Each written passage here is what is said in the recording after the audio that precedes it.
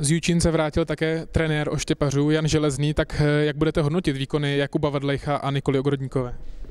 Tak já jsem velice spokojený, Kuba udělal medaily, takže co k tomu říct, jako to je vždycky takový ten správná taková ta třešnička na dortu.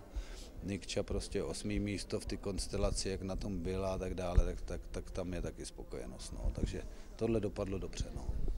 Eh, Jakub Vadlejch říkal, eh, že ta velká finále jsou vlastně jen a pouze o hlavě. Vidíte to podobně z pozice trenéra? Tak jasně, ta hlava tam hraje jako velkou roli, ale prostě musíte přijet s tou formou. Zase, když budete mít silnou hlavu a bez formy, tak to vám moc nepomůže, takže ono to ale vždycky je propojený spolu. No. Čím, čím větší formu jste, tím víc si věříte. Jo, a pak, pak, pak prostě některý zase ty hráči se to už to v sobě měli, jako třeba Torkelsen byl skvělý závodník psychicky, jako jo. Kuba se to dlouhodobě učil a teďka dozrál. No. Eh, S těmi přibývajícími medailemi a úspěchy Jakuba Vadlejcha, vidíte ho jinak jako závodníka?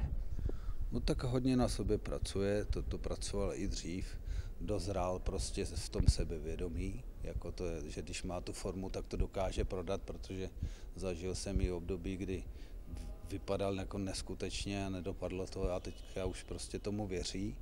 No a zůstal zdravý, to je zase, to, to je prostě alfa omega, to je v tom ještě bude strašně složitý zůstat ten rok zdravý, a nebo mít minimální problémy, no malé problémy, které se vyřeší, no tak to je. Vy jste říkal, že mistrovství světa je to hlavní pro vás. Přesto, jak vyhlížíte ten eh, druhý vrchol, a to Mnichov, mistrovství Evropy?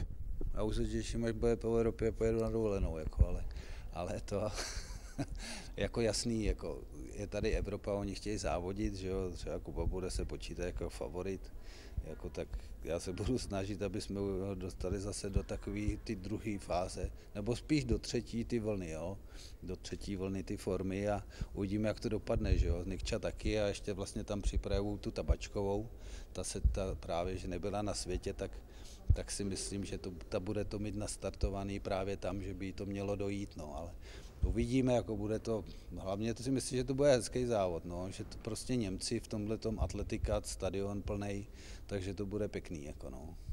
Děkuju a gratuluju. Taky díky.